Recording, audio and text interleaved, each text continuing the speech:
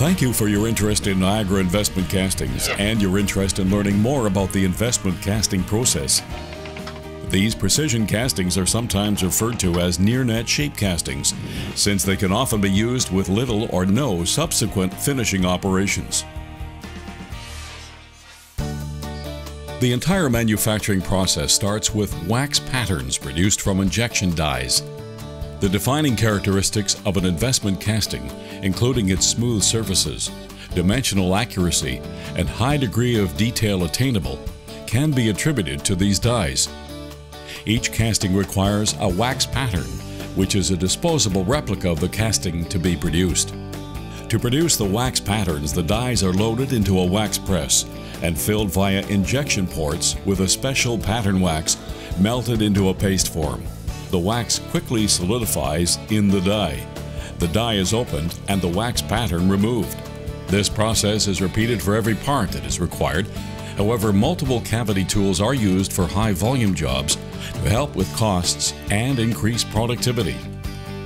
The degree of internal detail possible with an investment casting is one of its most versatile characteristics. This detail is formed using either simple pulls in the tooling or by using soluble wax or ceramic coring techniques for more complex internal detail. For prototyping or very short runs, purchasing of production-oriented tooling is not always economical, so we offer the option of special printed patterns produced using stereolithography from 3D CAD data. Once the wax patterns are produced, they must be assembled to a feed system called a sprue. The sprue is made from reclaimed wax and designed to not only hold the wax patterns, but also engineered to form a sufficient pathway. Metal flows through the mold during casting to produce a sound and defect-free component during solidification. With the waxes now assembled to the sprue, we have completed what is called a tree. To transfer the exact detail of the wax pattern to the casting, the trees are encased in a seamless ceramic shell mold. It is formed by robots dipping or investing the wax into a slurry, drying the tree and repeating. This builds up 3 eighths to 1 half inch of ceramic around the tree. It is this ceramic shell or mold which will receive the molten metal during casting. The first coat is called the primary. It forms the innermost surface of the mold. For that reason, it must be carefully applied in very controlled conditions to ensure the quality. Gradually, additional layers of increasingly coarser secondary ceramic layers are added, and the completed shell takes form. The next step is to remove the wax patterns and sprue. We do this by inverting the shell into either a steam autoclave or flash fire dewaxing furnace. The wax melts and runs out, and the shell is now complete and fully self-supporting.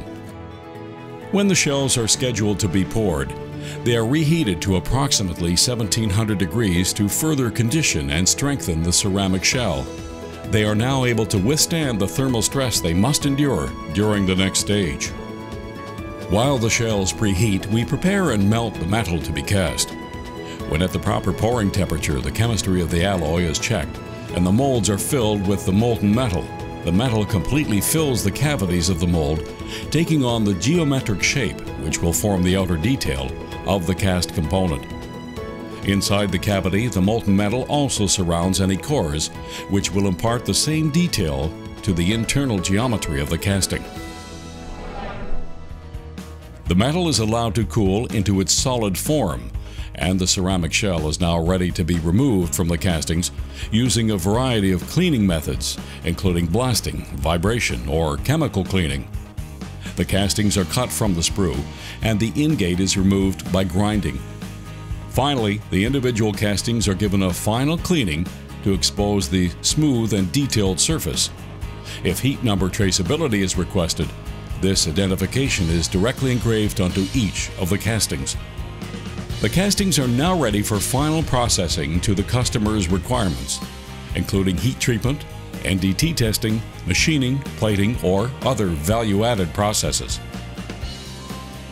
The investment casting process is an economical manufacturing method that offers many benefits and advantages over competing processes. We hope this video has been informative and helpful, and thank you for your interest in Niagara Investment Castings.